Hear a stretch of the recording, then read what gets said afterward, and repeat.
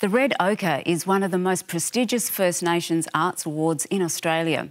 Established in 1993 to honour eminent First Nations artists who have made outstanding lifelong contributions to the recognition of First Nations arts in Australia and around the world.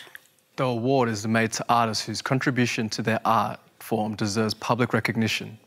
It showcases a life and work that acts as inspiration to other First Nations artists. Congratulations to Destiny Deacon. Destiny Deacon is a descendant of the Kuku, Erub, and Mer people. An artist, broadcaster, and political activist, Deacon creates performative photographs, videos, and installations. Partly autobiographical and partly fictitious, her work deals with both historical issues and contemporary Aboriginal life and is informed by personal experience and mass media.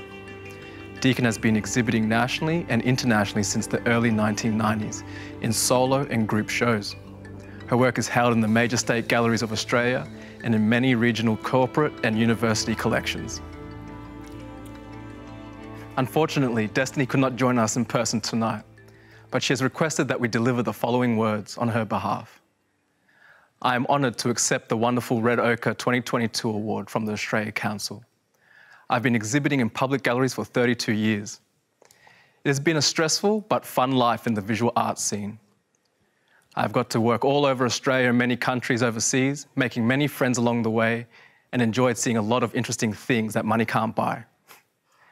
I got my first start through my sister Janina Harding, who was the Indigenous Arts Officer for the Melbourne Fringe Festival in 1990.